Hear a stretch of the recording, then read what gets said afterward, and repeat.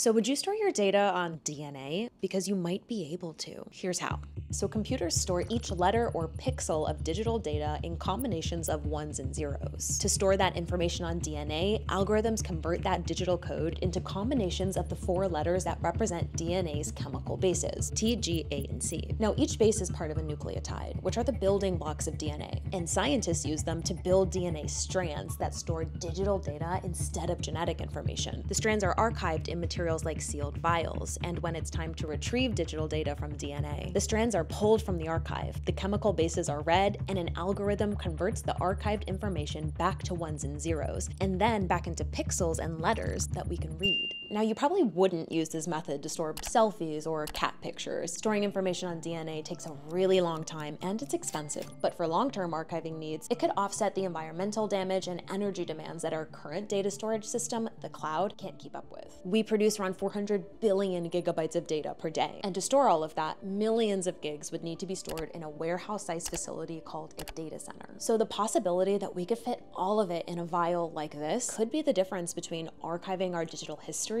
or risk losing it forever. So, would you store your data on DNA?